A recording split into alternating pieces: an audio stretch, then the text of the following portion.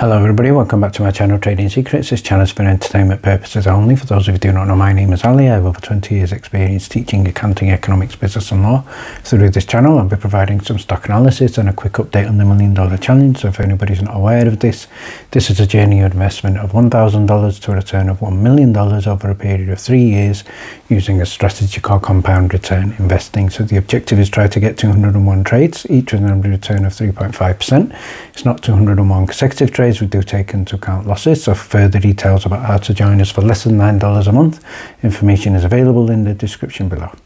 In today's video, we're going to be looking at MMTLP and an important question on a £200 million E-Trade order. We're also going to be looking at a, an important message for MMAT Meta Materials, so stay tuned for that. And also finishing off by having a look at symbol CADL, Candel Therapeutics. This is a stock that has been featured previously on the channel. So uh, before we get started, let's have a look at what's happening in the market. So first of all, shout out to investing.com and we can see that the US uh, market PPI inflation is up 2.1% year on year compared to the estimated 2.2% and the previous 1.6%. So it's the highest since September 2023.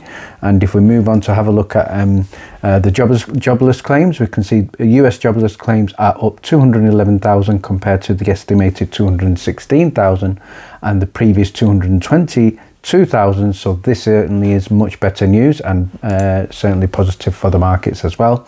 And uh, in other news uh, shout out here to BBC News who posted about Truong My Lan who is a billion, uh, Vietnamese billionaire. She was sentenced to death for uh, fraud of 44 billion dollars. So uh, what I've posted is I think if that kind of deterrent exists in the financial markets I think that in, in itself would be alone uh, enough to clean things up, uh, but obviously uh, I'm sure that's down to debate as well. So uh, shout out now to uh, Stock Market News, who've stated with regard to uh, Ford and Tesla, Ford what F-150 lighting gets special discount for Tesla owners. So good news hopefully for both stocks. And finally, shout out to Quiver Quantitative, who've shared an interesting purchase from one of the Congress members. And this is Virginia Foxx. She's bought into a small shipping company called called Ardmore Shipping, ASC.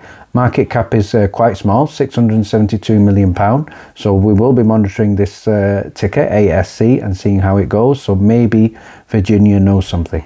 I'd like to start by doing a follow on to yesterday's video where we looked at potential sell orders for MMTLP for $25,000 a share on the 8th of December 2022. So this was covered in the previous video as shared by RareDD. So in terms of a follow-up, uh, RareDD has just posted and the question is why were these GTC orders for such high amounts? So they were certainly for high amounts, uh, $1,000, $5,000, $500, $150, etc. But the question is, it's irrelevant if the rules were being followed. They wouldn't have been an imbalance balance and if they they need to be resort to forced buy-ins uh, and liquidations in terms of what the broker should have done then obviously the rules of trading would have been followed so there should be no sympathy for investors that purchased MMTLP at $12 and might have been spooked into selling or had a stop loss triggered due to continuous unchecking. So the, I think the overall question or, or, or situation here is retail investors take uh, a risk of losing 100% of their investment. However, hedge funds and shorts who short a stock, uh, according to the rules of trading, should have a risk of infinite loss, uh, and clearly this was not followed.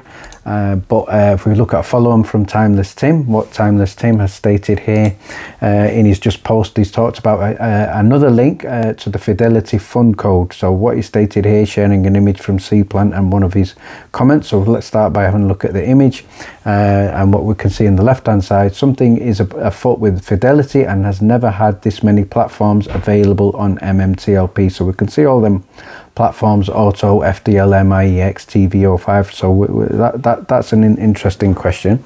And what Tim has stated is this may be the connection he sees on the E-Trade account, seven various low, mid and high orders rejected on Friday, 10.30am with a strange code and the code, first of all, too late to cancel, had a meaning which is in process of um, execution. So seven orders, seven routes to split the sell, uh, sell order costs. So the question is, are they fishing for our sell orders? In other words, the hedge funds or maybe even the brokers. So looking at the post again, he stated here, he could not find E-Trade route codes like this, but saw a link to the quarterly order routing report that contains December 2022 routing. So he received the question. The question is, why would the 200 million pound uh, million dollar order be bought and not many other smaller orders like $1,500, $500? So uh, with regard to the question, it's about the codes. and there may be a link and Fidelity seems to have set for large orders than other codes. Not sure of the route codes E-Trade use and not an expert in routing codes. So if anybody can help out uh, who has some expertise in routing codes, certainly for Fidelity, certainly for E-Trade, uh, that hopefully may get us uh, closer to what we're looking for. And in the other image here that um, Tim has shared, he's provided some information here about Fidelity order route codes. So go ahead and check his post out uh, where we can see uh, these details shared, but obviously there are unanswered questions. What I'd now like to do is follow on with regards to the concerns raised about the Meta Materials board. Uh, obviously, we're talking about the reverse split uh, and obviously looking at potential dilution. So uh, let's follow on in terms of uh, some of the investor concerns. And what Wendell has posted here is it's become abundantly clear that the board of directors and corporate officers are not taking loyal and long-term investors seriously and do not have their best interests at heart. It's time to take a stand. Please share um, as far and wide as you can. So uh, with regard to the message, he stated here, please read the following email template. Uh, send it to the board. Do not let them get away with shoving through a vote on a non-routine matter with uh, regard without answering critical questions. So, in one of my previous videos, I did highlight some important questions that I believe they should have shared, uh, and unfortunately, they did not do that. Uh, so with, this is something that I think uh, if you are invested in MMAT, go ahead and check the, uh, the Google link out. I finally like to finish off by having a look at tick symbol CADL, also known as Candel Therapeutics. So this is a stock which had some significant breaking news that was shared in the live Discord and also covered in one of the previous videos. Uh, so we have a quick reminder in terms of the key news for Candel Therapeutics. We can see headline here from Yahoo Finance.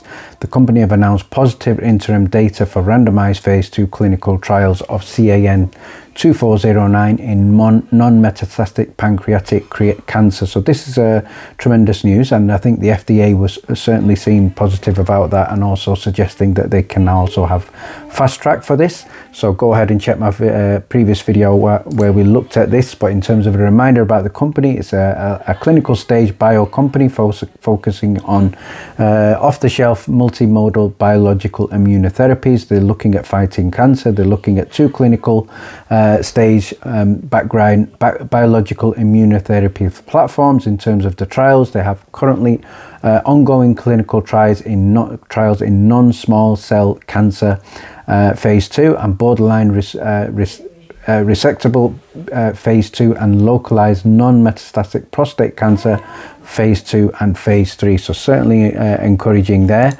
But let's now focus on from a trading point of view in terms of the chart. We can see here uh, today at time of editing, it's currently up in uh, in excess of 22% at $6.23. Uh, but if we have a look at the uh, one month chart, we can see over the previous month, it is up in excess of 271%.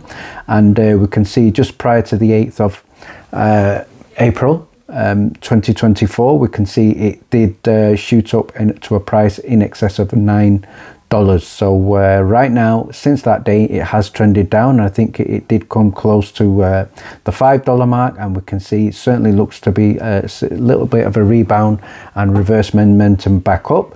Uh, so hopefully uh, tick symbol CADL, always look to take profits, always look to protect your profits, uh, but one that we are watching carefully, Bio stocks are extremely volatile, but great news here for Candel Therapeutics. Finally, if you would like to get breaking news as well as copy of our weekly watch list and uh, daily stock alerts and also join us on the challenge, details are in the description below. Thank you very much for watching, please stay tuned.